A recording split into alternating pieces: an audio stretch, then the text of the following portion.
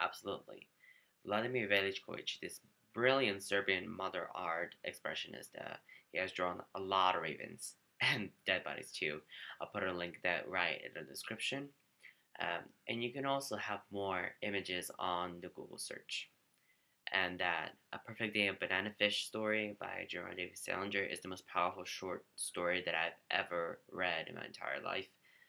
Um, I recommend you that you buy Nine Stories book. He's such a terrific writer. Not gonna lie. And that uh, Stranger by Albert Camus. It was an amazing book. He is a terrific writer too. And Generation P by Victor Pelevin is also complex and trippy as fuck. And The Metropolis by Fritz Lang is a masterpiece. It's a must see in the history of cinema. So then, uh, uh, what did I miss?